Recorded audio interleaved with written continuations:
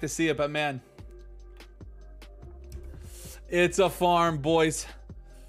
Onion gang trying though. And look, you can say they're farming onions. You can say Bark for Hills is farming onions here. Uh, you know what I mean? That actually works.